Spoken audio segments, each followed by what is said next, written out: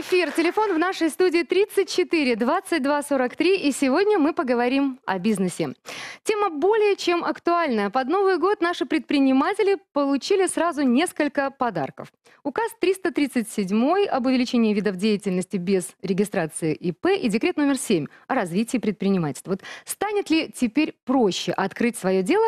Поговорим об этом сегодня вечером.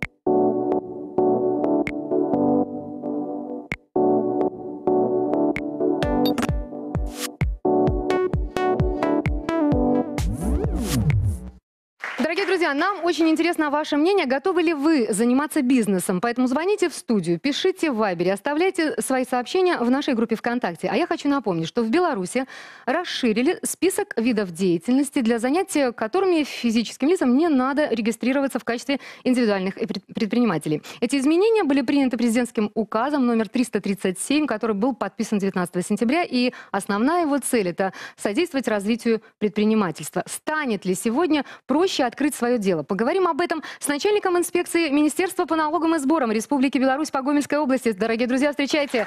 Владимир Васильевич Девойн у нас в гостях. Добрый вечер. Рада встрече. Присаживайтесь, пожалуйста. А, вот мне всегда было интересно, что же движет человеком, который решил заняться бизнесом. Спросим об этом у психолога. Людмила Тутынина у нас в гостях. Встречайте, пожалуйста. Людмила, добрый вечер. Присаживайтесь.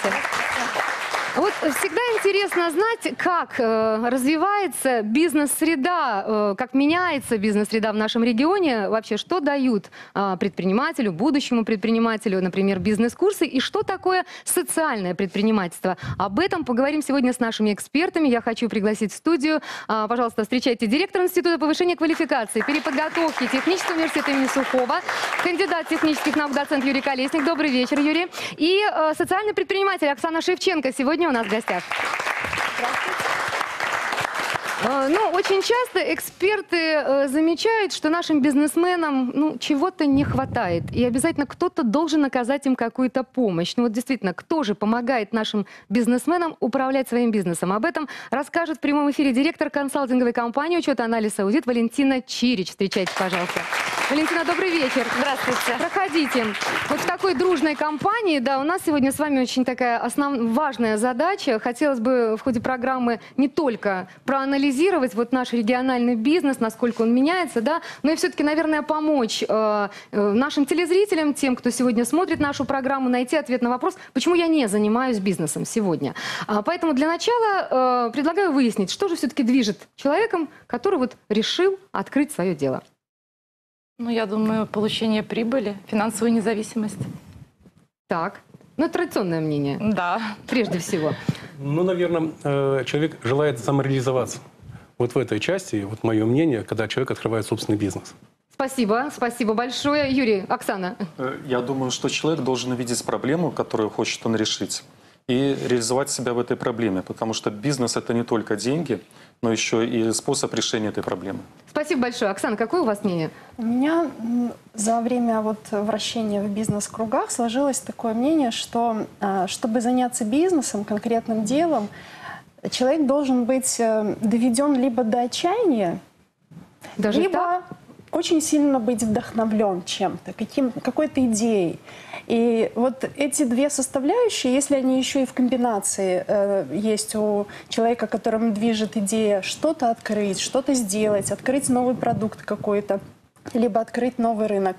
Э, э, отчаяние в каком смысле? Нет денег, Э, хочется кому-то что-то доказать. То есть отчаяние в таком горячем виде, а вдохновение я хочу что-то сделать, я хочу кому-то показать. То есть или очень хорошо, или очень плохо, да? да? да. Это две основные причины, на ваш взгляд? Да, две большие Мне кажется, это интересное мнение, заслуживает действительно аплодисментов. Людмила, ну... А вы знаете, Наташа, да. вот я хочу э, поддержать Оксану. На самом деле э, это действительно очень э, точно подмеченное мнение, выверенная точка зрения. То есть психологи Респект Оксане, она да? это увидела. То есть ты, А вот скажи, пожалуйста, все-таки ты работаешь с бизнесменами как психолог. Угу. Вот на твой взгляд, э, стать бизнесменом сегодня, предпринимателем, может каждый человек или для этого нужны какие-то особые данные. Наташ, ну вот такое вот искушение, да, вот хочется сказать, да, все идите в бизнесмены, вы Ну, мы все, должны сегодня так да, сказать. вы, вы- все справитесь. На самом деле это не так. Вот у, у каждого есть какой-то свой талант. Кто-то рисует, да, иди в художники, кто-то поет, у него есть талант Так. э, выступать на сцене. Но у предпринимателя, бизнесмена должен быть особый талант, особое чутье, зарабатывать деньги. У него, э, у настоящего бизнесмена должен быть талант, как вам сказать, чуйка. А я бы сказала, чуйка. красиво зарабатывать. Вот Красиво зарабатывать деньги. И причем не только понимать, что я зарабатываю для себя, но еще и для тех, кто, э, например, там в компании, для общества. То есть там слишком много всего. Людмила, спасибо быть. большое за откровенность. А, вот вопрос, э, наверное, действительно самый важный на сегодняшней нашей программе. Владимир Васильевич, вот как вы считаете, сегодня у нас есть, э, скажем, благоприятный вот для бизнеса климат в нашем регионе? Мне очень интересно ваше мнение. Ну, я на этот вопрос отвечу таким вот образом. Те нормативные документы, которые вы сегодня называли, а, в купе их было принято 7 нормативных документов. 337 это первый указ, 7 декрет завершающий был в, этой, в этом блоке документов. Вот эти нормативные документы, э, сюда же, э, скажем так, работа исполнительной власти, Так. начиная от облисполкома, районными исполнительными комитетами, создание условий для бизнеса на местах, плюс э, облегчение бизнеса, которые определены сегодня в указах и в декрете, позволит бизнесу, бизнесу достойно развиваться ну, в ближайшее время. Но я думаю, что все равно все будет где-то дорабатываться, поправляться, потому что это не точка. Бизнес все равно всегда развивается. И законы идут вслед за бизнесом. Он всегда чуть-чуть впереди. Спасибо большое. А, ну, вот продолжение, продолжение как бы этого вопроса. Оксана, вы предприниматель. А, вот э, мне кажется, идеальная бизнес-среда для развития, да, это когда только ленивый не занимается бизнесом. А что вы можете сказать? Как вам? Уютно сегодня заниматься собственным делом? Знаете, у предпринимателей и налоговых э, органов есть Ну, зачем вы сразу делаете эту Две... стенку? Нет, никакой стенки. ну, я так люблю сразу искать крайности. Так. Э, Есть э, две крайне противоположные цели. У нас как можно больше заработать э, и оставить у себя. У них налоговой как- такая же цель, у поверьте. них, у них как можно больше э, э, от нас взять и к себе положить. Э, и я хорошо отношусь к тому, что налоговая эм, выполняет роль на самом деле такого социального регулятора своего рода. Потому что благодаря нашим налогам э, у нас есть такое понятие, как условно-бесплатная медицина. Она-то бесплатная как? Мы платим налоги, получаем эту эм, скажем, да, э, услугу от Так. государства. Дороги, по которым мы ездим. Э, эм, Это здравоохранение, я Школы, назвала детские школы, сады. детские сады. Безопасность. То есть, э, э, уплачивая налоги, я всегда знаю, что это, в принципе, мне вернется в каких-то бонусах, которые мне предоставляет государство. Оксана, мы вас услышали. Да. Вам комфортно, потому Мне что вы комфортно. платите налоги с удовольствием. Мне комфортно, но чем меньше я их плачу, тем мне радостнее. Спасибо. Спасибо большое. А, У нас есть телефонный звонок. Секундочку, есть телефонный звонок. Добрый вечер. Вы в прямом эфире. Говорите, пожалуйста. Мы вас слушаем. Здравствуйте. Здравствуйте. Как вас зовут? Э, Инна Владимировна меня Слушаем, зовут. Ирина Владимировна. Э, Я с Рогачева звоню вам. Так. Э, Уже много лет думаю начать свое дело, а город наш маленький, да, тут как бы уже продается все, что только можно. Так. И я вот все не решаюсь. Может, вы направите как-то, посоветуете, как начать свой бизнес людям, вот как я, проживающим в небольших населенных пунктах. Спасибо. Спасибо. Очень интересный Спасибо. вопрос. Аплодисменты для вас за вашу смелость. Спасибо большое.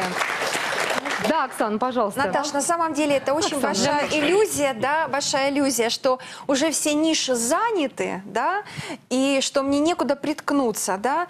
Вот э- именно этой женщине не хватает чего? Не хватает креативного мышления, творчества, где бы я могла себя реализовать. Это, кстати, один из очень важных аспектов для Бизнесмена? для бизнесмена. Иметь великолепную идею. На самом деле мы очень много чего не имеем в обществе, правда? Ни услуг, не надо продавать. Займитесь какой-нибудь, вернее, оказывайте какие-то услуги.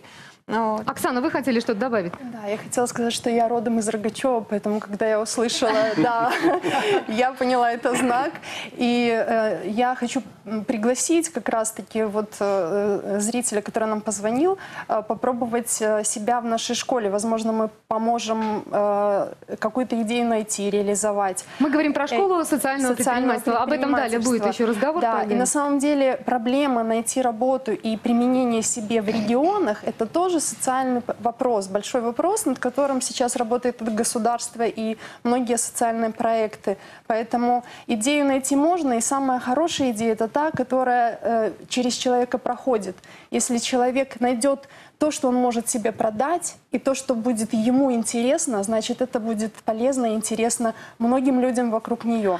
Спасибо большое.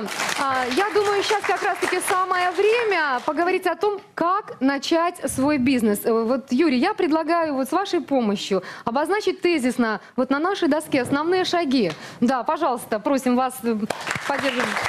Итак, Да, сегодня уже очень правильно прозвучало, что должна быть идея. Поэтому я бы начал с того, что у меня есть идея, и я хочу создать свой бизнес. Итак, находим идею, креативную, как подсказал наш психолог, э, хотя слово такое не всем понятное, но Творческую. творческую. Творческую, и, может быть, даже это должна быть идея, ко- которая направлена на решение какой-то определенной проблемы. Поэтому будущий предприниматель, либо начинающий предприниматель, он уже должен представлять ту проблему, ко- которую он хочет решить. Хорошо, с Поэтому, идеей да, определились. с- с Вы идеей знаете, у меня столько идей. Столько идей, но этого маловато, правильно, чтобы начать свой Э, как- бизнес? Конечно, Так. да. И одной идеи, идеи маловато. И вот э, очень хороший был телефонный звонок. Э, Женщина сказала, что она уже давно хочет, но почему-то не становится А пред- предпринимателем. ну, у меня тут есть свое, что называется, мнение, точка зрения такая, что есть у наших людей определенный психологический барьер для того, чтобы сделать этот, что называется, первый шаг.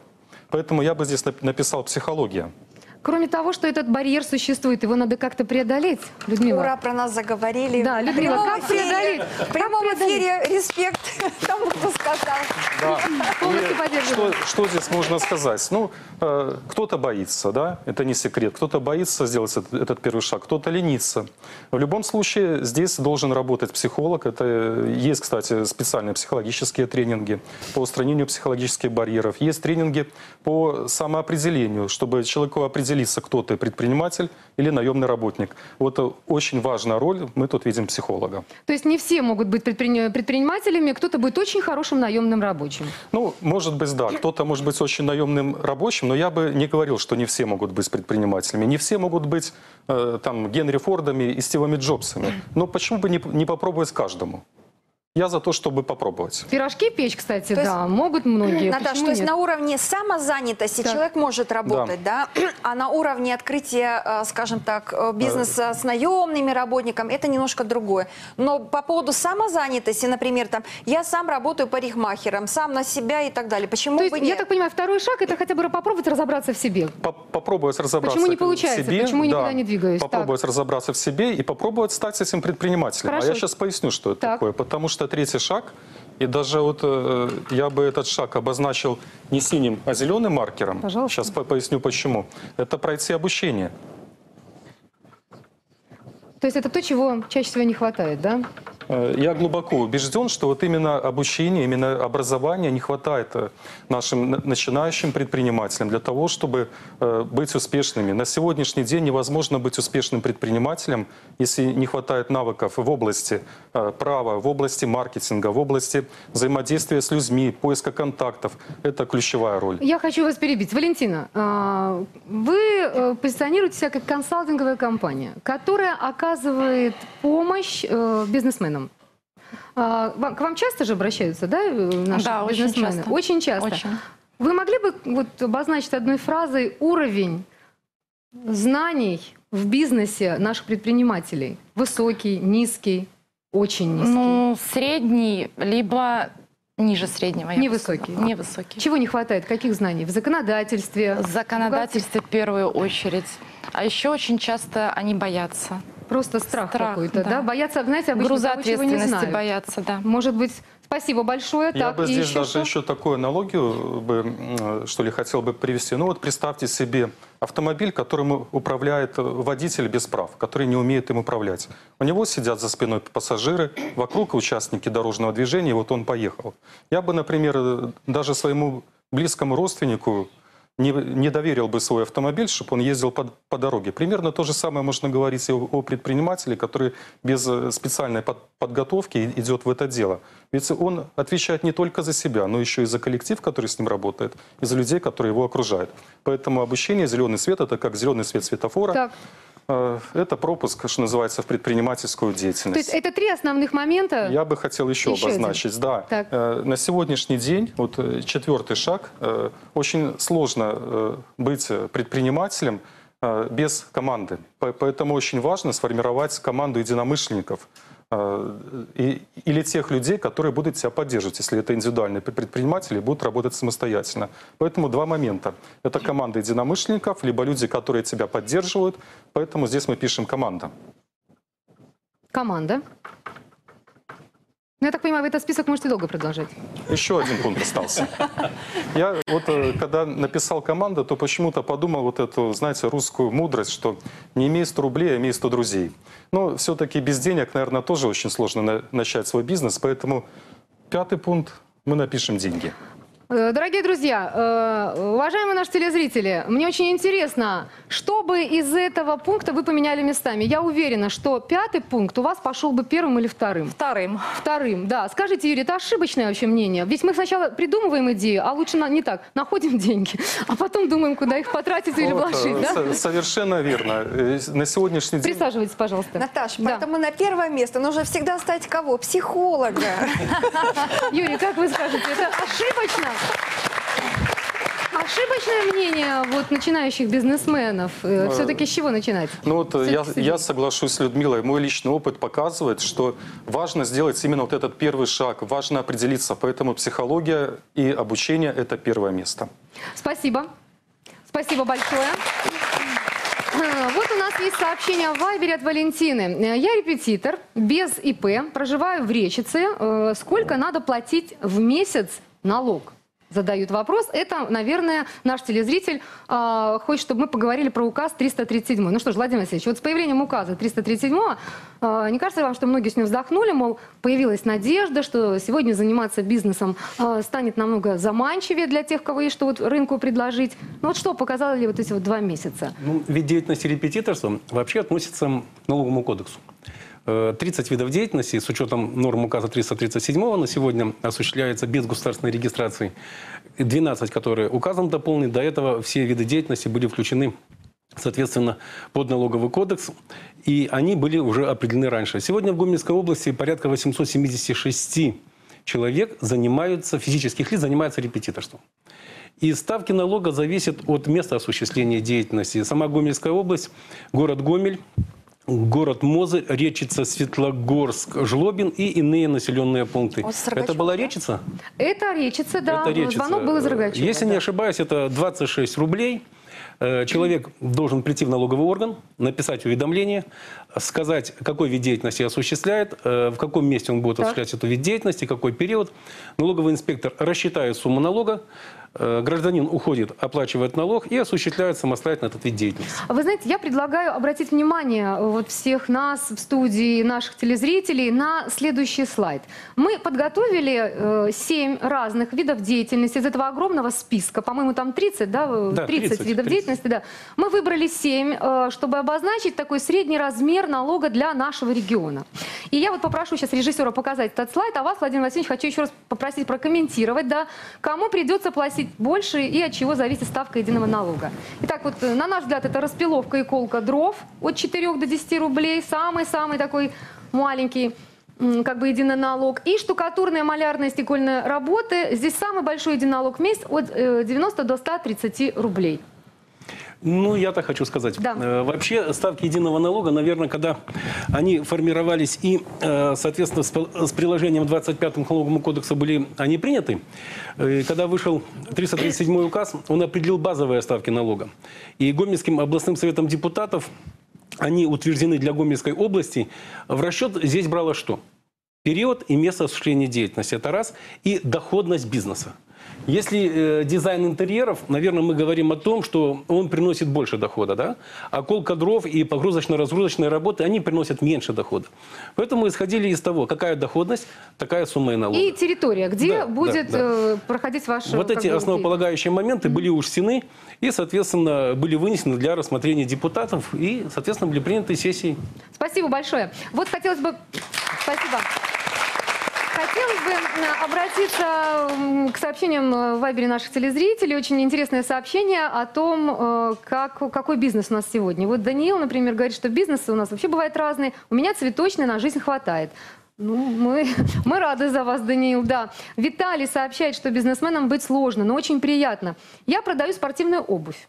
Вся семья занята делом. Риски большие, но зато не бедствуем. Мой совет – начинать бизнес с хобби. Интересный совет. Что скажете? А хобби это интерес. Так. Это интерес. В принципе, это то, что вы знаете, конечно, любите. Собственно, это вот конечно. указ 337 Конечно. для тех, у кого есть хобби, да, мне По видам кажется. деятельности, которые там предусмотрены. Да, да, то, что вы любите, начинали делать, печь там пирожки, да, вот, пожалуйста, ну, очень хороший совет. Эта норма, кстати, ушла в, ушла в указ, и сегодня по этому виду деятельности можно заплатить единый налог. Так. Если, мне, если я так точно помню цифру, 22 физических лица э, за два месяца зарегистрировались по этому виду деятельности. Спасибо большое. У нас есть телефонный звонок, не подсказывают. А, добрый вечер, вы в прямом эфире, мы вас слушаем, говорите, пожалуйста. Здравствуйте. Здравствуйте, как вас зовут? Меня, меня зовут Наталья. У меня э, следующего плана вопрос. Так. А, мой муж очень любит э, собирать грибы, ягоды, ну, в сезон грибовые ягоды. Так. И э, ну, то, что э, лишнее, он продает обычно на местном рынке. Скажите, пожалуйста, меня интересует, следует ли единый налог, э, совершая ну, вот эти продажи? Если телезрители не услышали, вопрос звучал, стоит ли платить единый налог при таком вот виде деятельности. Спасибо большое за звонок. Этот вид деятельности не облагается единым налогом. И, скажем так, дары леса освобождены от уплаты любого налога. Ни подоходный, ни единый здесь не уплачивается.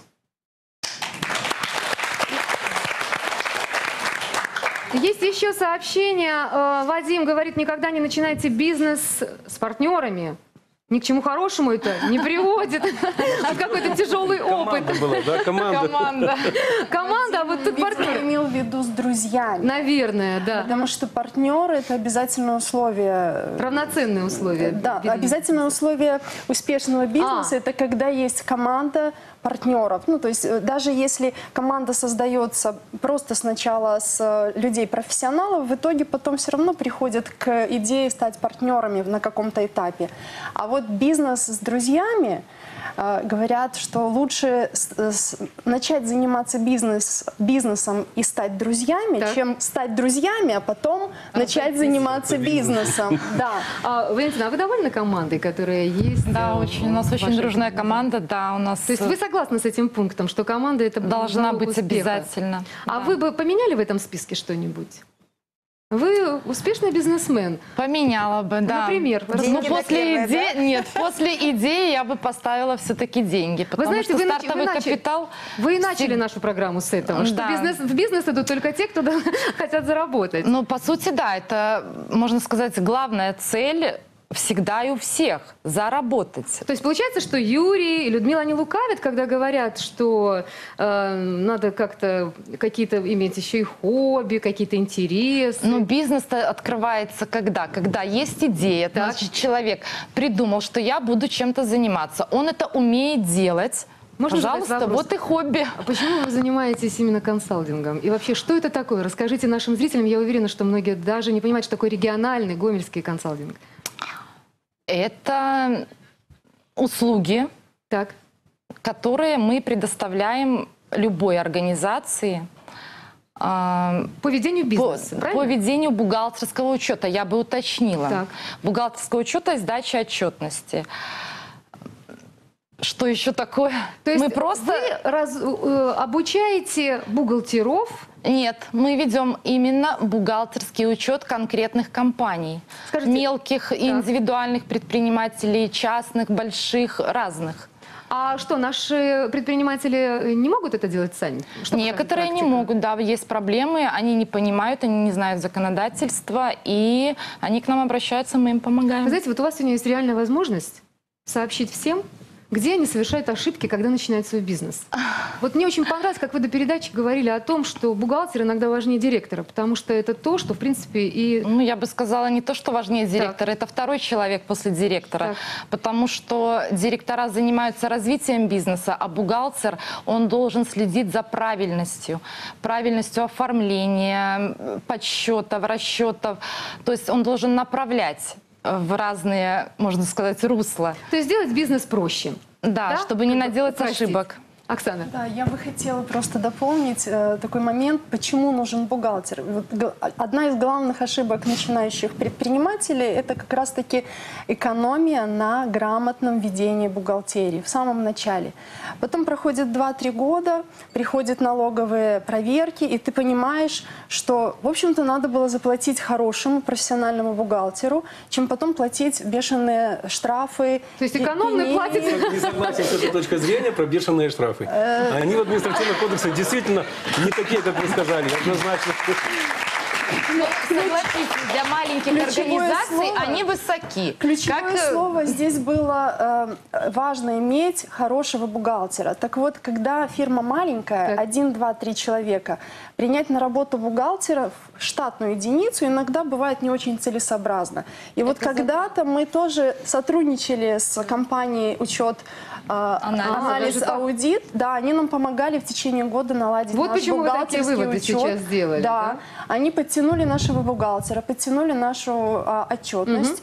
И, в общем-то, на каком-то этапе развития а, компании это очень хороший вариант. И выгодно по э, затратам и Очень. очень профессионально Я хочу по дополнить, да, когда открывается организация, у них, как обычно, не хватает денежных средств, правильно, начального капитала. огромное того- количество идей, да? Да, Нет идей всего. много. не изучили они, они не поняли, Идей- им надо, понимаете? Второй пункт однозначно прописан правильно. Идей много, и хочется все и сразу. А здесь еще э, нужно организовать место бухгалтеру, куда-то его посадить, купить компьютер, провести интернет, потому что у нас сейчас даже налоговые декларации сдаются через интернет. Надо добавить бухгалтер. Мне кажется, да, это без этого списка. То есть из этого вытекают и остальные как бы затратные части. На это можно сэкономить даже очень большие деньги. Спасибо, слушаем. Небольшая ремарка. Действительно, я тут согласен с коллегами, не согласен только с одним. Э, Штрафы, да. Нет, э, во-первых, налоги небольшие, налоговая нагрузка небольшая. Для среднего и малого бизнеса, как категории плательщиков, туда входят индивидуальные предприниматели. Налоговая нагрузка небольшая, со штрафами. И если вы, э, было установлено нарушение, и вы оплатили вовремя этот административный штраф, не административный штраф, а налог, то сумма штрафа в соответствии со статьей 7.9 уменьшается в два раза. раза. Вот, пожалуйста, вам стимул для того, чтобы, если ошиблись, заплатить. Но совершенно правильно с бухгалтером. Не будет э, поставлен э, нормальный учет, Так. бизнес может просто погибнуть. Да, самое И, главное, можно это, я скажу? Сейчас, сейчас. И из практики э, дойдет до субсидиарной ответственности, когда уже те люди, которые были виновны, будут платить, э, возмещать, скажем, налоги государству уже за свой личный счет. Э, такая статистика есть, я не буду сегодня ее озвучивать, но то, что коллеги правильно сказали об учете, он должен быть поставлен вместе с началом бизнеса. Спасибо большое. Да, хотела просто еще дополнить, что когда человек открывает бизнес, э, здесь действительно нужно подобрать для него оптимальную систему. Подобрать оптимальную систему, схему Оптимизировать, работы. Конечно, потому что э, некоторые приходят, ой, мне там посоветовали, я буду вот так, вот так, вот так, а в итоге получается, что, извините, я сработал в минус.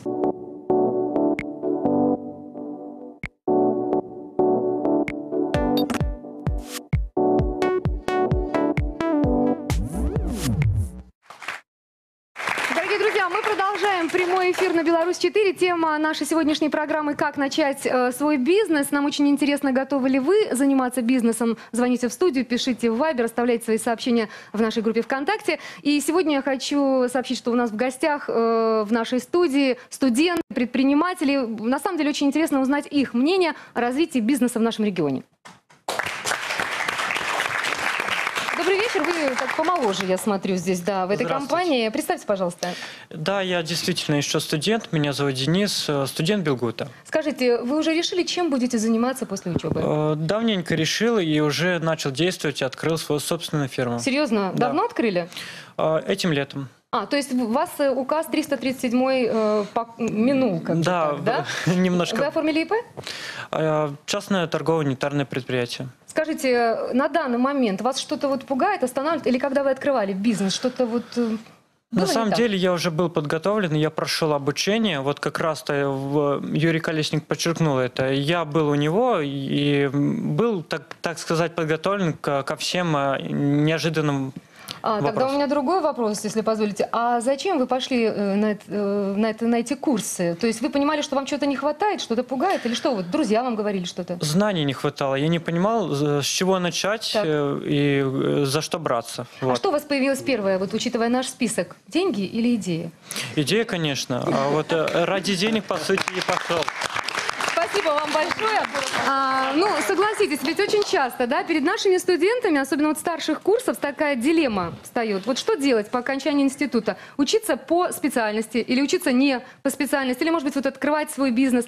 Вот, Юрий, что вы, Оксана, что, и вообще, дорогие что вы посоветуете, учитывая вот... Да, что здесь можно посоветовать? Из своего опыта я могу сказать, что действительно есть такая проблема. И я бы ее разделил на две составляющие. Первое – это то, что наших э, сегодняшних студентов не учат искать работу. Вот, э, наши студенты привыкли, что государство их распределит, и они уже на все готовое пойдут. Поэтому первый путь решения проблемы – это учить студентов искать работу самих. И вот мы в нашем институте этим сейчас занимаемся. Э, Второе, что бы я хотел сказать, может быть, будет э, не, не совсем, так скажем, не очень ожиданно, что на сегодняшний день для того, чтобы быть конкурентным на рынке труда, Так. не- недостаточно иметь одной специальности. Нужно, нужно постоянно учиться, и, может быть, не все знают, что э, наше государство позволяет э, сегодня получить вторую специальность на уровне высшего образования всего лишь за полтора года. И тогда такой студент, он будет э, намного более успешным и, на более, более, и, и намного более эффективным на рынке труда. А, Что, что вы посоветуете? Э, У нас сегодня очень много экономистов. Они, по данным, по статистике, часто не востребованы после вуза. Их не хотят брать, они молодые, они неопытные. Вот, кстати, вы часто берете молодых студентов? Да. Вы берете часто? Мы берем часто, но мы берем их с помощью центра занятости. Есть программа для молодых специалистов. Вам не страшно приобретению опыта? Нет, не страшно, мы уже привыкли, работаем давно по этой программе. Мы набираем э, и экономистов, Так. и бухгалтеров, и программистов э, на работу. Они у нас работают 6 месяцев, мы их учим. Они набираются опыта. Да, я забыла, что вы умеете, да, умеете обучать Да. бизнесу. Спасибо. И, и до сих пор работает у нас, э, есть специалисты, которые остались после такой Э, практики. Людмила, одну секунду. Я к чему веду все это? Э, Вот смотрите, у нас очень много экономистов. Какую вторую профессию вы посоветуете тем, кто не востребован, чтобы все-таки одно дополняло другого, и другое, я так понимаю? Ну, вы знаете, что я бы здесь хотел сказать, что да, очень часто говорят, что у нас в стране много экономистов, много юристов, но почему-то не найти. Вот когда ищешь себе в штат экономиста либо юриста, то очень сложно найти такого Уважаемые специалиста. экономисты, юристы, те, кто не востребован после института, да, не забудьте, что вот только что сказал Юрий Колесник. Да, вас ждут, вас ждут только Мы ждем ждут грамо... И я скажу больше, что, что грамотного юриста, экономиста все ждут. Так, Оксана, Да, вы тоже хотели я- что добавить? э, Вопрос э, вот изначально был такой, эм, что делать студенту, да, вот он уже заканчивает университет, и э, искать ли ему работу, создавать ли ему предпринимательство. Вот здесь у меня однозначная рекомендация, прежде чем создавать какой-то бизнес, какого, организовывать фирму, нужно обязательно обрасти опытом и практикой, потому что замечательно, если студент живет и воспитывается в семье бизнесменов, там, где он может этому научиться, не выходя из дома. Но если вдруг такого опыта и практики нету, сразу бросаться в бизнес э, без получения особых навыков, которые на самом деле за партой э, в университете не получишь. Э, Надо научиться и работать с партнерами, и работать с поставщиками, и правильно организовывать бухгалтерию. вы знаете, у нас вот яркий пример молодого студента, который еще учится и уже открыл свой бизнес. Вы приходите к нам через год, хорошо? И расскажете, да, вот Такие насколько примеры успешно. тоже есть, и я ни в коем случае случае не говорю, что так делать нельзя. Это тоже опыт. Э, Опыт, через который он пройдет методом проб и ошибок. Потому что в бизнесе э, без ошибок никогда не получается. Спасибо. И главный стопор э, любого бизнеса – это боязнь ошибиться и сделать что-то не так. И вот если бизнесмен допускает ошибки, переступает через них, делает выводы, идет дальше, тогда из этого бизнесмена получится хороший, успешный бизнес. Спасибо большое. Людмила. Наташа, я хотела э, сказать о том, что у нас есть в обществе э, явление инфантильности. Наши дети очень поздно начинают работу, с этим надо что-то делать.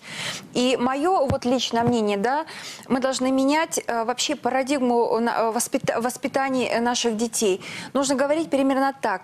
Ты должен начать работать как можно раньше, а учиться ты должен, ребенок, всю жизнь. Я вот сколько мне приглашают на передачи по бизнесу, я все время проговариваю, потому что когда ребенок приходит в общество, э, начинает работу в 24 года, в 25, да, это очень поздно, ему тяжело интегрироваться с, работающими, с рабочими людьми. Поэтому э, пусть он не занимается бизнесом, вот то, о чем Оксана говорила, нужны какие-то навыки, да, там, там Вы- как... Вот, Людмила, а что Но- ты имеешь в виду под словом работать?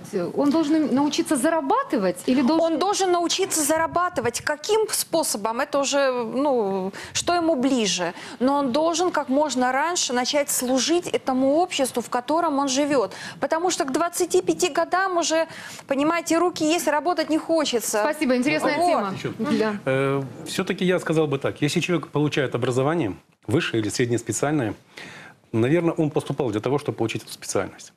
И надо э, идти и стремиться к тому, чтобы ее получить и работать по ней. Но в это же время, когда он получает, если есть возможность, и вот то, что дает сегодня 337 указ, без государственной регистрации, правильно было сказано, начинать работать и немножко зарабатывать на себя. Тогда это все совместится, а потом он выберет себе. Или ему заняться бизнесом, или работать обязательно по той специальности, которой он обучался. Государство туда вкладывает деньги. Он на это рассчитывал, когда поступал. Ну, в конце концов, ведь можно же быть студентом, экономистом с дипломом, печь пирожки, да? А то мы Конечно. привыкли где-то мыть посуду в ресторанах. Ведь можно действительно заниматься своим собственным бизнесом. Мне кажется, это хорошая идея. У нас есть телефонный звонок. Добрый вечер, слушаем вас. Говорите, пожалуйста, вы в прямом эфире. А, Алло, здравствуйте. Здравствуйте, как вас зовут? Меня зовут Ирина. У меня такой вопрос. Э, Вот сейчас перед Новым годом будет много корпоративов, и мне предложили поучаствовать в роли Снегурочки. И вот подскажите, как это сделать, э, чтобы не было вот проблем легально? Чтобы Новый год прошел для вас успешно, я вас понимаю, да. Да, да. Спасибо большое. Надо ли платить налог от такого вида деятельности? Действительно, здесь э, 337 указ главы государства работает. То, что мы сегодня уже говорили, человек приходит в налоговую инспекцию, заявляет об этом виде деятельности, и как физическое лицо, заплативший налог, человек может осуществлять вид деятельности Снегурочки. Но э, Снегурочка без Деда Мороза не бывает. Это еще одно физическое лицо, это еще один налог за Деда Мороза.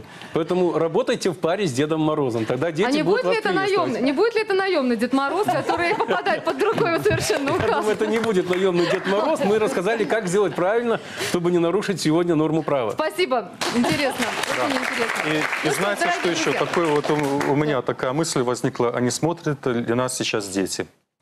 Вот они узнают про Снегурочку и Деда Мороза. Я думаю, начнут, э, начнут э, Налоговая, смотрят. налоговая инспекция, Министерство по налогам и сборам разработала уже две книжки э, детям о налогах, сказки. Сегодня на студии вот э, первая книга есть. Э, мы получили вторую книгу. И что здесь радует? М, 8 числа, 8 декабря э, областной филармонии был поставлен м, спектакль э, «Мыши украли налог». Э? Это 40, мин- 40 минут действия, и где э, дети школьного возраста, они участвовали, просто участвовали, проникнувшись к этой теме, когда сказали, что такое налоги, для чего они нужны. И когда два мышонка убрали, убрали скажем, ну, забрали рюкзак с бюджетом, а потом сталкивались с проблемами жизни, э, одни неприятности, вторые, и возвращали все назад, Поэтому не будет. Я думаю, что дети будут читать сказки и понимать, что платить налоги уже в лет 18 должны, по крайней мере. Ну, если они пойдут работать еще раньше, да, Ну, они быстро раньше, узнают, то что раньше. такое налоги, да. Ну что ж, дорогие друзья, мы продолжаем нашу программу. Вот э, что делать тем, э, кто оформил ИП, но э, попадает при этом вот под э, указ 337 и вообще как получить финансы под собственное дело. Поговорим об этом далее в нашей программе.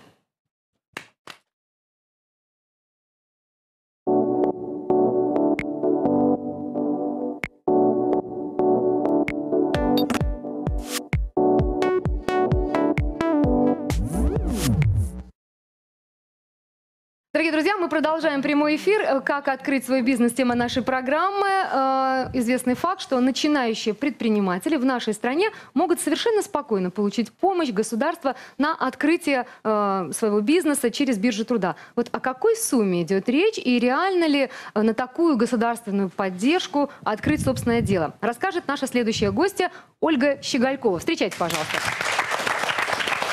Добрый вечер. Присаживайтесь, пожалуйста, присоединяйтесь к нашей э, компании.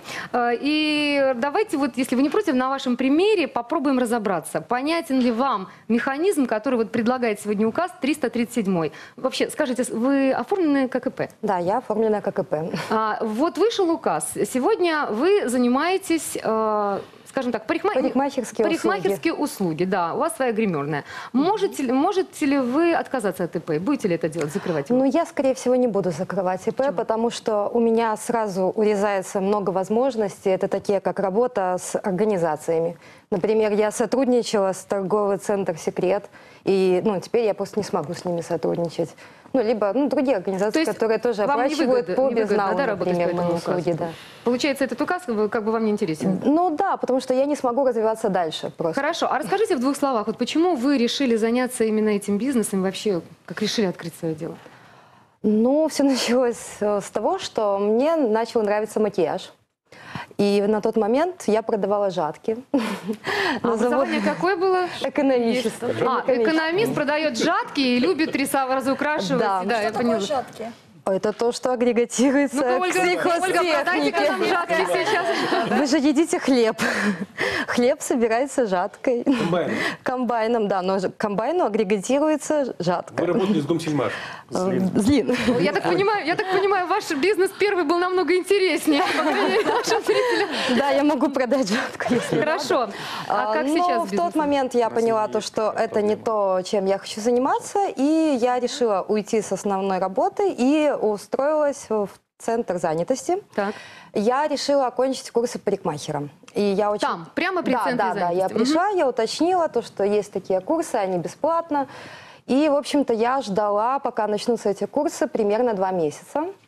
То есть очередь? Да, ну как, ну там группа набиралась, и она все никак не набиралась, и я ждала, ждала, и э, в тот момент я узнала о том, что есть э, поддержка государства на открытие бизнеса. Сколько, как, о какой сумме идет речь? Но в тот момент, это был 13 год, я получила тогда 11 миллионов. Это было, ну, в районе тысячи долларов. Вот. Я обратилась к специалисту уточнить, как это происходит, э, ну, что мне для этого нужно. И, ну, как бы по пунктам все это выполнила, защитила бизнес-план. А, так- бизнес-план да. пришлось еще Да. предоставить. Ну, так. так как у меня экономическое Как образование, то, в общем-то, проблем с бизнес-планом не возникло. И, ну, Ольга, ну не бывает, что проблем вообще ни с чем не возник- не возникло. Наверняка какие-то сомнения, э, Были. когда вы это начинали, были, да. Были. Было Какие? страшно. Было страшно то, что много конкурентов на самом деле. А, Было страшно... Жатки, мне кажется, не, не такая конкурентная среда, в принципе, да.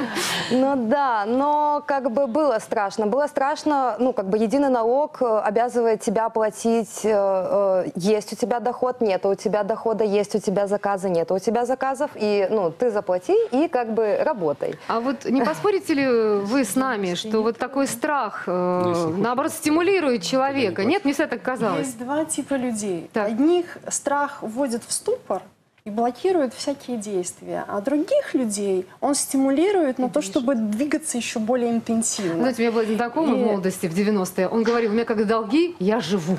Я их отдаю. Наталья, можно? Да. Э, У нас все-таки в налоговом кодексе в 35 главе предусмотрена льгота для плательщиков единого налога, для индивидуальных предпринимателей.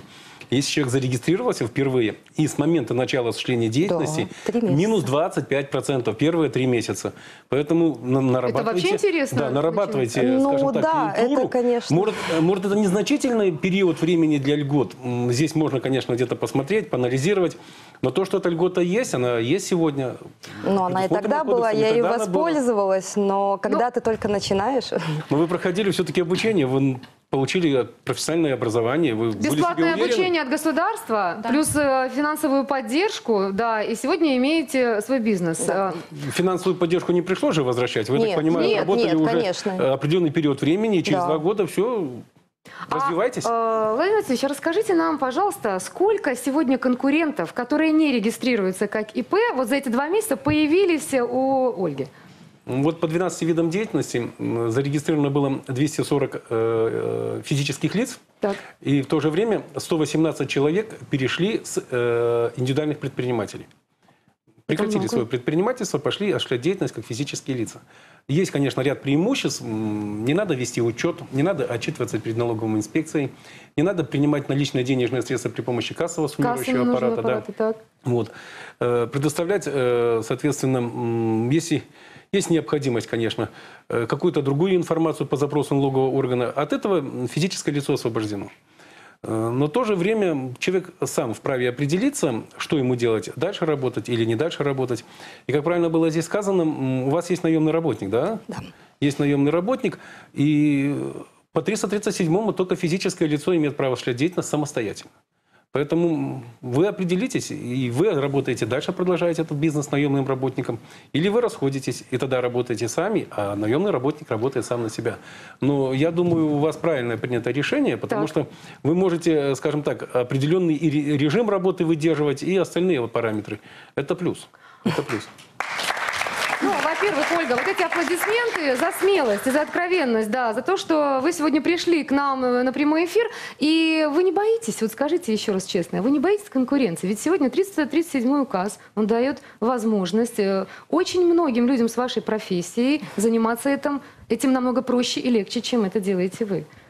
Ну, как сказать, не боюсь. Конечно, страх присутствует всегда. И я думаю, что даже человек, придя на работу какую-то официальную, да, он всегда должен бояться о том, что придет специалист намного э, квалифицирование его, да, и завтра могут закончиться ваш контракт, и вам скажут, извините, но вы нам не нужны. Э, В моей профессии, ну, я сама себе хозяин. Если я начинаю бояться, я иду на какие-то дополнительные мастер-классы. Я себя как-то ну, дополнительно организовываю, я какие-то придумываю бонусы для моих клиентов. То есть, ну, как бы все от меня зависит на самом деле. Бухгалтерию ведете сами? Да. Да. Интонация сказала сама за себя, да. Наталья, там- Спасибо. Там, для плательщиков единого налога бухгалтерия не слишком сложная, да? Вот книга учета выручки и кассовый аппарат, на этом вся бухгалтерия. Ну, еще наемное лицо. Ну, наемное лицо, да. Если есть наемное лицо, удержали подоходный Вот. налог, предоставили два А вычета. так ничего сложного. А так ничего Да, и сложного. сдали отчет еще фонд социальной защиты 11 населения. классов образования для индивидуального предпринимателя позволит разобраться с этой бухгалтерией. Я Есть думаю, так. телефонный звонок, мне подсказывает. Э, Добрый вечер, вы в прямом эфире, говорите, пожалуйста. Мы вас слышим. Здравствуйте. Здравствуйте, как Меня вас зовут Оксана. Да, Я студентка Гомельского университета в Карыны. И в свободное время хотела бы заниматься разработкой веб-сайтов. Скажите, обязательно ли мне регистрироваться предпринимателем? Спасибо большое, спасибо за Так вопрос. понимаю, мне вопрос, да? Конечно, вам. Нет, не обязательно. Нет, не обязательно регистрироваться. Опять 337 указ. Вид деятельности разрешен это для физических лиц. Обращайтесь в налоговую инспекцию по месту, соответственно, своего проживания. Указывайте, где вы будете осуществлять деятельность. Вам говорят ставку налога, рассчитывают. и Вы идете, платите и осуществляете вид деятельности. Спасибо большое. Вот мы как раз-таки, да, а, подвели вот э, к тому с помощью Ольги, что курсы. Ну, я так понимаю, Ольга говорила про свои мастер-курсы, которые по своей профессии, а я бы хотела поговорить про бизнес-курсы. Насколько вообще бизнес-курсы, вот такие, например, как успешное трудоустройство, о котором мы говорили сегодня на программе, в принципе, помогают открыть э, человеку э, свой бизнес и сделать вот эти первые шаги в предпринимательстве, Юрий? Ну, я считаю, что вообще обучение, вот мы там уже обозначили это зеленым светом, это ключевой момент. И здесь нужно э, с чего начать? Нужно человека подтолкнуть, чтобы он сделал первый шаг. А дальше ему подсказать, э, как продавать, как взаимодействовать с людьми, как открывать свой бизнес. И вот э, мне очень понравилось, как Ольга, э, что называется, это классический пример предпринимателя. Она рискует. Надо понимать, что, что предпринимательство – это риски. И надо еще что понимать, что э, сегодня э, сов- современный институт, вот мы, я могу здесь говорить про свой институт повышения квалификации, это, н- это, это не классические лекции. Сегодня это интерактивные занятия, это, это интерактивные тренинги, это бизнес-игры, это консультации и менторство. Мы соп- сопровождаем э, бизнес-идеи наших э, участников нашего То проекта. есть это не просто какие-то скучные занятия с тетрадками, да? Э, Это Совершенно верно. Я даже больше современная- скажу, что мы вот с участниками проекта успешного трудоустройства ездили в лес под, под Минск. и Там успешные предприниматели проводили тренинги в рамках молодежного бизнес-форума. Поэтому сегодня это интерактив, это современные методики образовательные. И даже здесь можно говорить, вот еще была школа предпринимательства социального у нас, где у нас часть занятий проходили по дистанционной форме. Э, У нас участвовали эксперты из Италии, из Швеции, из Минска. И вот эти вот ин- интерактивные занятия, они помогают людям действительно получать самые передовые знания. И это можно сегодня получить э, в институте. Спасибо большое. Вы знаете, э, вот я бы хотела... Это мне не хватает. Вот, Вали- вот чего-то вам не хватает, да, наверное, Валентина? надо прийти. Может быть, для меня там место найдется. Валентина, а вы уже понимаете, чего вам не хватает, в принципе? Пока нет. Пока нет, но уже стало интересно. Да, очень, очень, очень. А я, вы знаете, хотела бы вам задать другой вопрос. Э, Восемь лет назад, да, вы открыли Да. э, этот бизнес Да. свой, консалтинговое такое предприятие. Восемь лет назад, мне кажется, это вообще было что-то, наверное, непонятное, запредельное для э, нас. Но в свое время что все-таки вас побудило уйти в это свободное плавание? Здесь у нас речь идет 4 года назад, человек получил господдержку. Вы открыли свой бизнес 8 лет назад. Вот мне интересно, что побудило и легко ли было вот это вот психологически этот вот переход?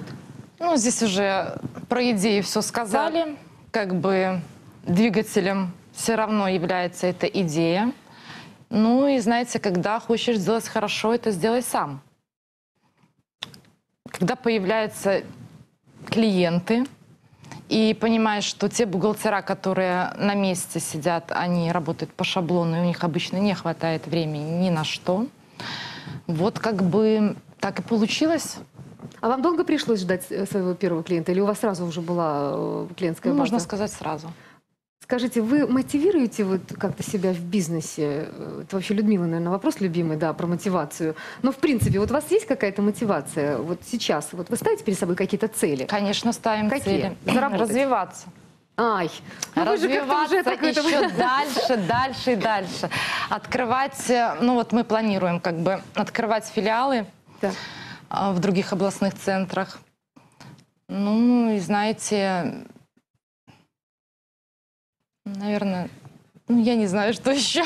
Но, в принципе, развитие и... Да, если сказали развиваться, вы правильно подчеркнули.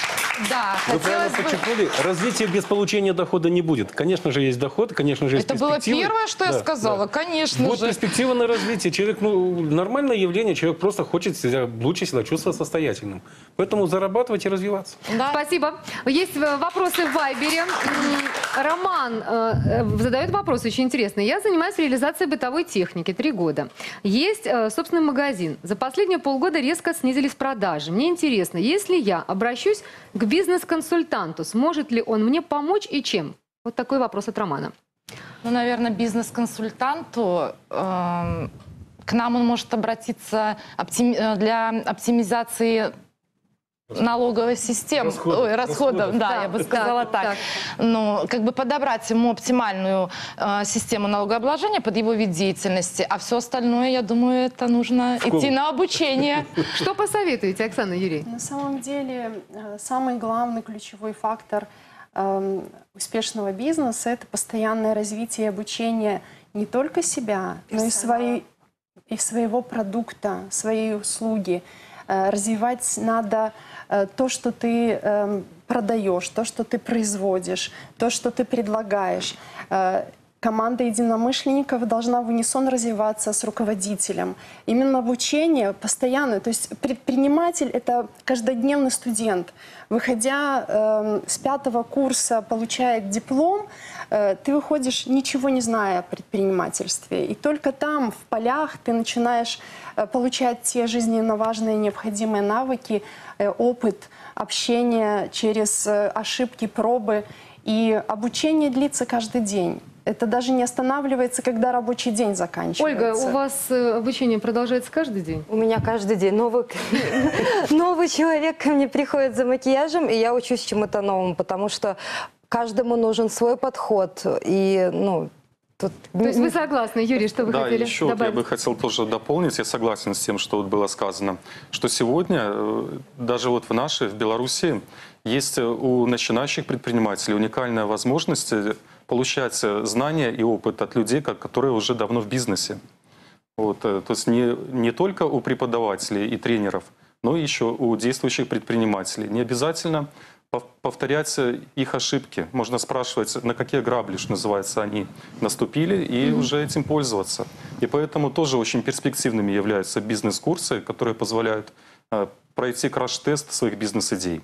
И познакомиться заодно с предпринимателями, да, учесть их ошибки. Очень-очень интересно. Мы продолжаем прямой эфир. Э, Современный бизнес, считают эксперты, требует социальной направленности. А это значит, что предприниматели должны э, стремиться получать не только прибыль, но и оказывать посильную помощь обществу в решении социальных проблем. В Беларуси пока нет э, законодательного определения такого понятия, как социальное предпринимательство и социальное предприятие, но в нашей стране, в нашем регионе есть бизнесмены, которые занимаются именно такой деятельностью и даже обучают этому других. Кстати, стоит отметить, что гомельчане первыми открыли подобный бизнес-курс. Но обо всем по порядку. Оксана, я знаю, что вы сами, уже это обозначили сегодня, являетесь социальным предпринимателем, при этом обучаете других бизнесменов. И у нас есть вопрос в Вайбере от телезрителей. А в чем заключается вот эта ваша социальная деятельность как предпринимателя? Э, Я бы сначала хотела, может быть, э, пару слов сказать о том, что такое социальное предпринимательство, потому что неумудренному опытом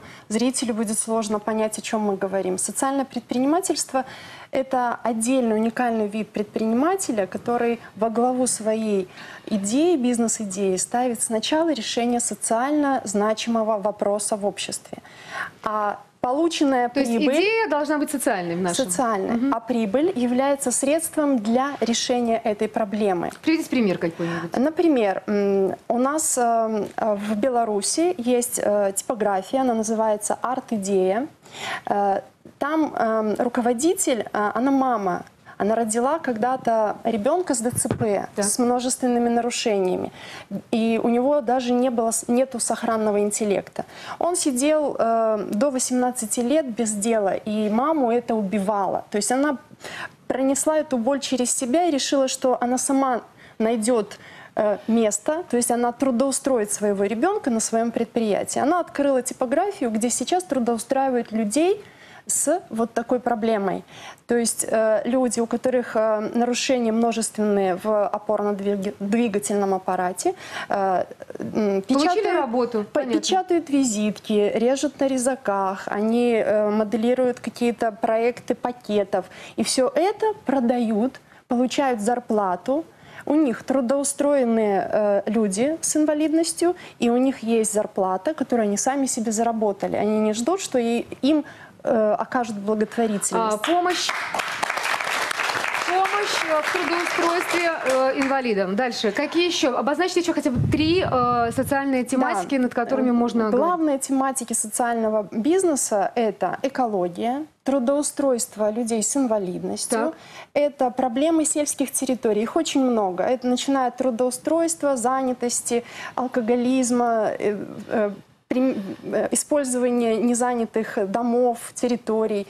Э, Это могут быть проблемы э, производства продукции для инвалидов, потому что очень остро стоит вопрос массовое производство продуктов, которые необходимы нам, поставлены на поток, а для человека с инвалидностью э, не всегда есть достаточное количество Оксана, спасибо. товаров. Спасибо большое. Я бы хотела просто обозначить, что к этому проекту имеют отношение Оксана Шевченко и Юрий Колесник в нашем регионе. Юрий, скажите, а насколько вообще развито социальное предпринимательство у нас э, в Гомельской области? Ну, если говорить про Гомельскую область или вообще, что ли, можно здесь говорить про Республику Беларусь, то мы можем сегодня уже видеть Э, Есть такая информация в прессе, что порядка 150 социальных предприятий по всей республике. Но этого, конечно же, мало.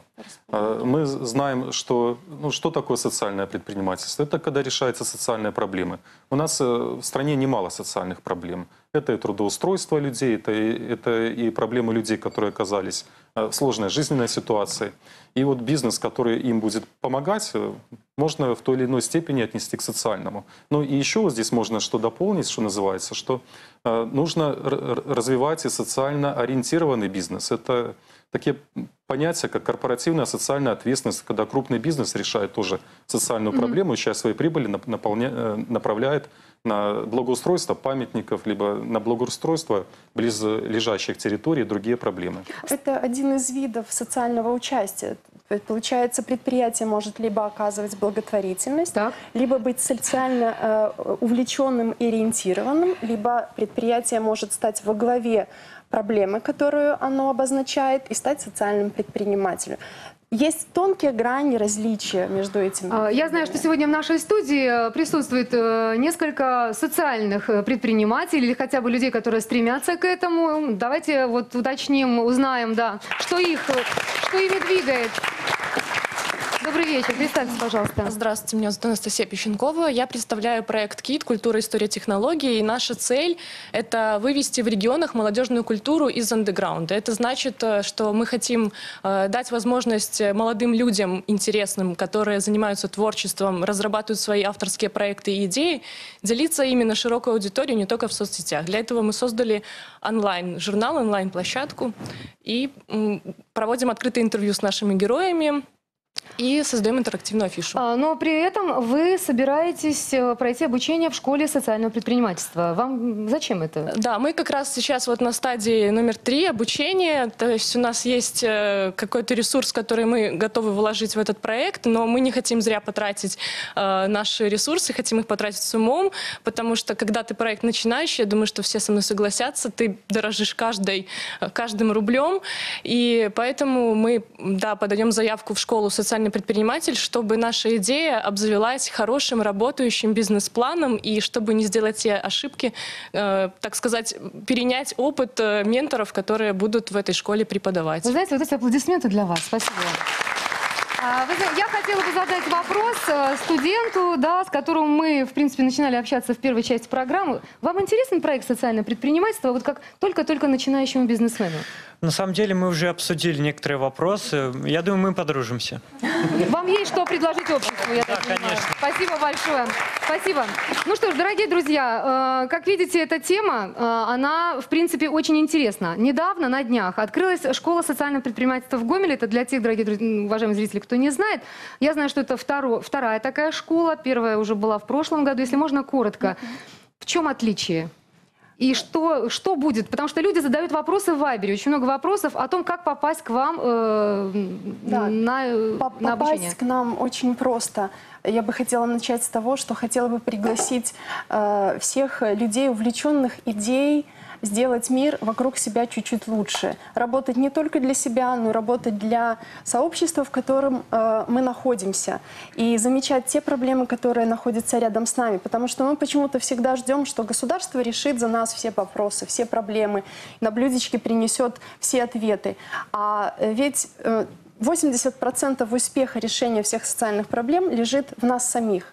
И если мы будем замечать, обнажать эти проблемы и искать пути решения этих проблем, то я думаю, что общими усилиями это будет сделать лучше. Скажите, вот у меня такой вопрос ко всем. Как вы считаете, а вообще э, как сориентировать вот бизнесменов, действующих, настоящих, успешных таких акул, я бы даже сказала, на социальные проблемы и насколько, в принципе, это необходимо? Я сегодня? думаю, что здесь никого специально не сориентируешь.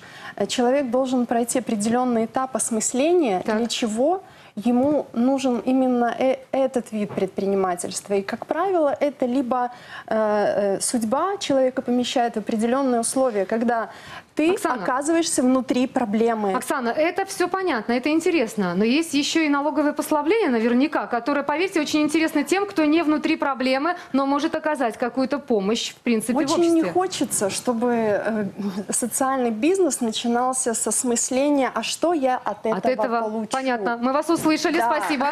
Мы вас услышали, да. А, Владимир Васильевич, Все правильно сказано, но все-таки э, закон есть закон, и система э, тех льгот налоговых, которые предусмотрены э, именно предприятием, которое занимается социальными проблемами, она есть. Э, льготы, которые предоставляются предприятиям, которые используют труд людей с ограниченными возможностями. Это уменьшение ставки налога на прибыль, 141 статья налогового кодекса. И Действительно, сумма льготы предоставлена значительно, и это те денежные средства, которые государство говорит, что платить государству не надо, а предприятие может направить на развитие и поддержание именно тех людей, которые участвуют в этом бизнесе. Это по единому налогу для индивидуальных предпринимателей, э, которые имеют инвалидность, это 20% уменьшения ставки единого налога. Это многодетные семьи, 20% ставки уменьшения единого налога. Максимальная льгота здесь 45%. Ряд налоговых льгот они есть, и если действительно человек проникся этой мыслью, проникся этой идеей, которую вы сказали, ничего страшного, когда он будет использовать то, что ему положено использовать по закону. ну, вдруг это станет стимулом, по крайней мере. Ну, скажем, э, станет, э, будет, будут средства для развития и продолжения этого бизнеса и поддержания именно людей, которые нуждаются в какой-то помощи. Спасибо большое. Юрий, Ну, я бы хотел... Я бы хотел ответить на вопрос, в чем же будет отличие между первой и второй Да. школой. Что когда мы писали этот проект э, по второй школе, то думали о людях, э, которые испытывают какие-то ограничения, это в том числе и об инвалидах. И поэтому мы будем стараться сделать эту школу доступной, инклюзивной для людей с инвалидностью. спасибо большое. А, Ольга, скажи, пожалуйста, вот э, как тебе, как вам идея вот о социальном предпринимательстве? Есть что предложить? Ну, я могу сказать, э, ну, я не знаю, как насчет предложить, но я могу сказать то, что мы, например, нашими визажистами гомельскими, мы каждый Новый год собираемся и едем на елку к деткам, на жемчужину, в детский дом.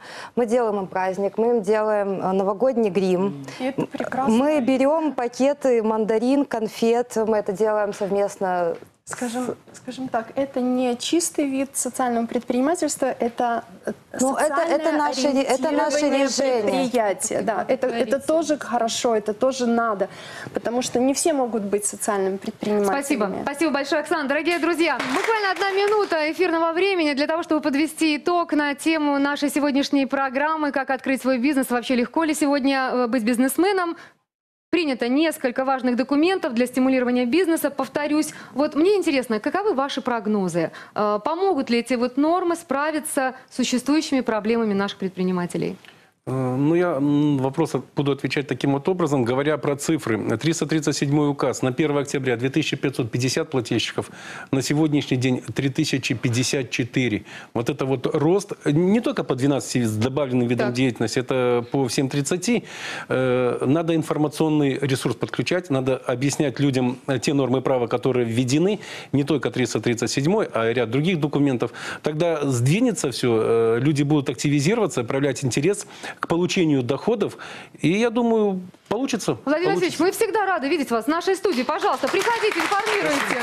Спасибо большое. Последний вопрос. Насколько вы считаете, вот регионы способны сегодня изменить вообще общую картину предпринимательства в стране в целом? Юрий, вот как Ну, вы считаете? да, я бы хотел сказать, что, э, на мой взгляд, э, регионы как раз и способны изменить эту картину. Если даже взять наш Гомельский регион, это что такое? Это самый развитый промышленный центр. И второе, что все наши белорусские регионы, они э, трансграничные. Вот этот потенциал нужно использовать. Э, Второй момент, это нужно использовать э, э, потенциал сельских территорий. И вот мы в ближайшее время с нашими участниками проекта «Успешное трудоустройство» едем в Брагинский район и будем показывать, как там вот в этих условиях непростых развивается бизнес. Ух. Закончить эту э, программу, э, вы знаете, вопросом э, к Ольге. Есть пожелания для бизнесменов? Все-таки вот оттуда и вот прям туда, да, что называется? Ну, я хотела бы, чтобы в первую очередь придумали для себя мечту. Мечтать это очень важно. А а когда мечта будет, у вас все получится. И даже если не получилось, то значит пробуйте что-то другое. Дорогие друзья, а как начать свой бизнес? Сегодня мы искали ответ на этот вопрос с нашими гостями, с нашими экспертами. Я благодарю всех за компетентность, за откровенность, за смелость. Вы знаете, э, очень хочется надеяться, что советы нашей сегодняшней программы помогут нашим телезрителям, всем э, нашим жителям Гомельской области все-таки задуматься хотя бы о, о собственном деле. Мне кажется, это уже первый шаг. Дорогие друзья, это был еще один добрый вечер Гомель э, с Натальей Волынец. И до новых встреч в прямом эфире.